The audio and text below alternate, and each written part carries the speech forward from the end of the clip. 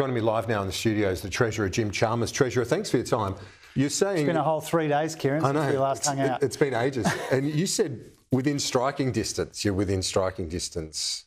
So I want to, of getting a surplus in in May, I want to put it in terms that uh, I know you're a Broncos fan, but you're basically Billy Walters in the Broncos with the ball five metres out, and all you have to do is not drop it and you'll have a surplus. That's fair enough, isn't it? Oh, well, the, my last Broncos experience wasn't terrific in the uh, GF last year, so I I, uh, I don't enjoy the reminder. Um, but oh, look, we are within striking distance uh, of a second surplus, but we're not there yet.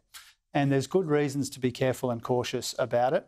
Know, part of the reason is because our predecessors, you know, made the mugs and overpromised and underdelivered, and they were humiliated in the end when they didn't get a surplus after nine cracks at it.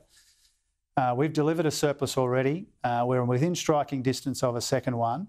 But there's a lot of volatility in revenue. There's a lot of uncertainty, particularly in the global economy. And so it pays to be cautious and conservative, and that's what we're doing. Yep, no worries. Well, I, guess that makes sense given recent history for, for Josh Frydenberg, also Labor as well with the GFC many, many moons ago. But uh, you've banked more than 90% of the revenue upgrades.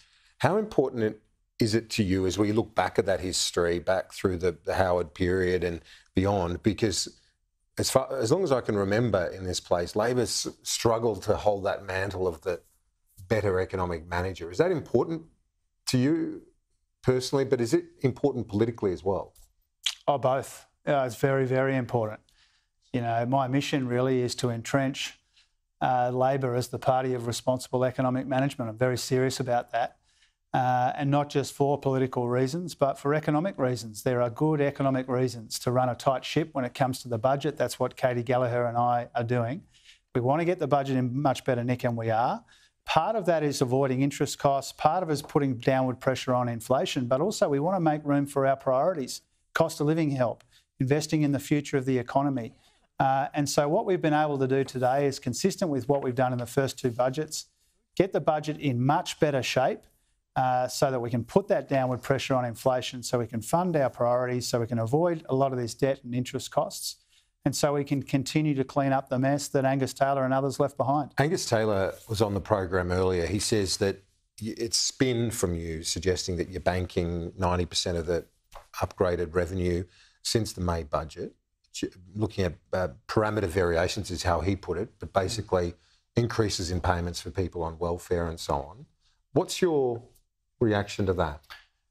Well, as I understand it, Angus Taylor was saying uh, that uh, there is a lot of spending in the budget. Uh, a lot of that is uh, parameter variations, which is really the indexation on pensions and payments.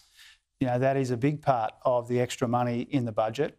And so, if he is saying that we shouldn't be doing that spending, he should say so. If he is going to end the indexation, of pensions and payments, he should be upfront with people and say so. And if he's not going to end that, uh, then he should be honest with people and say that whoever was in office would be up for those parameter variations that we saw in the budget. But more broadly, Kieran, you know, I'm not taking lectures on responsible economic management from the party that delivered nothing but deficits, a trillion dollars of debt, uh, and had absolutely no savings in their last budget. You know, we are turning things around.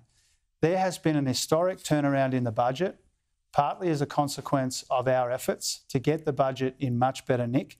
The sorts of responsible economic management, which is a defining feature of this government, would be completely unrecognisable to Angus and his ilk.